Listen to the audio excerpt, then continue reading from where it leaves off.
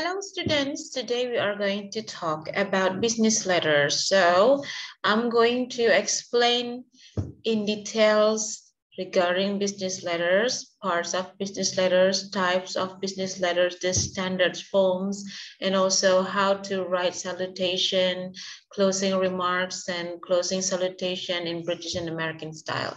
I want you to please pay attention and I want you to also write down the notes that you need to relearn after you finish watching this video. Let's just go right away to the explanation.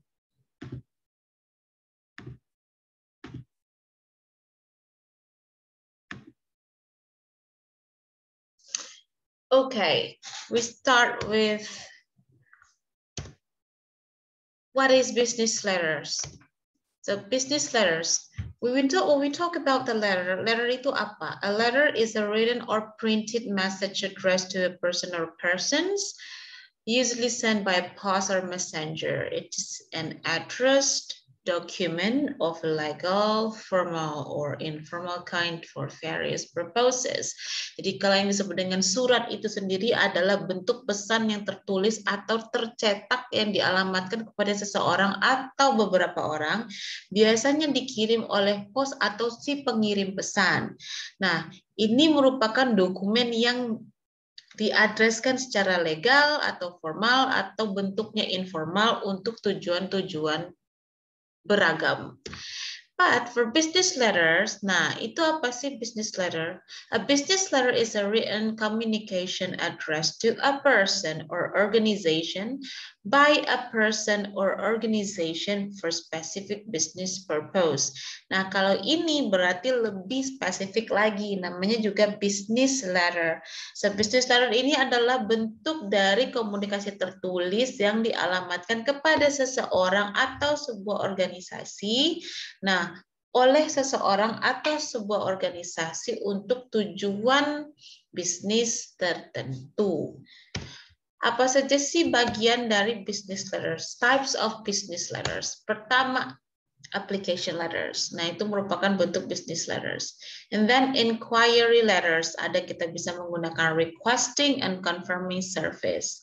Lalu ada sales letters, lalu ada order letters. Order letters itu ada ordering supplies and confirming order. Ada complaint letters, itu ada claim and adjustment letters.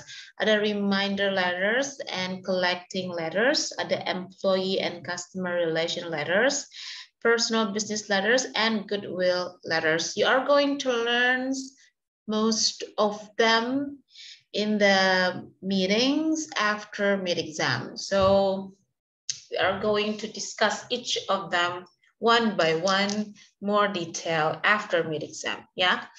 Next, we go to the parts of the letters, bagian-bagian surat. Itu ada heading yang pertama, ya heading itu bagian atas kita sebut dengan kop surat. Lalu ada reference, ya tulisannya itu disingkat dengan R E F R E F or ref.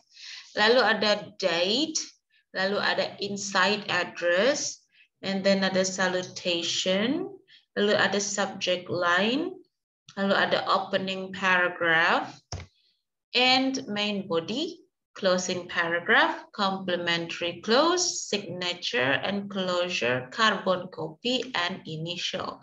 Ini adalah bagian-bagian dari surat. But standards elements of a letter itu ada. Satu, letter or letter head or heading, itu bagian kop surat, itu bagian standarnya. And then ada reference, lalu ada pakai tanggal, dan lalu ada receivers name and address. Receivers ini disebut dengan istilah inside address juga. Nah, ini ke siapa kamu mengirim, itu dia. And then salutation, lalu masukkan subjeknya, lalu ada main body, complementary close, signatures, lalu nama kamu sebagai si pengirim or sender's name and destination optional parts of the letter ini adalah optional jadi tidak wajib ya ada attention line, ada identification line, ada enclosure and carbon copies. Nah, don't forget to check and do the test one ya. Now we go to how to write inside address, salutation, and complimentary close. Look at this table, ada inside address, salutation, and complimentary close. Jadi ada British American style. Seperti apa sih British style? Kalau inside address-nya, contohnya the personal manager, kita menggunakan salutations-nya itu dear sir pakai koma. Ya, sedangkan American menggunakan titik dua. Okay. lah untuk complementary clause-nya sendiri, British and American itu juga berbeda. Kalau British kita menggunakan yours faithfully, kita menggunakan sincerely, yours sincerely, or with best wishes. Sedangkan for American, kita menggunakan very truly yours. Kita bisa menggunakan yours truly, or sincerely yours, or with best regards. Nah, jangan lupa juga kalau kamu menggunakan salutation setelah dear sir itu menggunakan koma, that means it's in British style. While if you use dua titik, itu berarti we use American style. Okay, so that's a very, very short explanations about business letters. And assignments, don't forget to do task one, page four, task four, number three, page seven, and task five, page seven to eight. And don't forget to submit that in iLearn based on the deadline I give and find it in English correspondence book, yeah? So that's a very short explanation about business letters. You can just go right away to the group and ask me questions regarding to this material. We are going to do discussion by Zoom soon after the meeting is done in the group.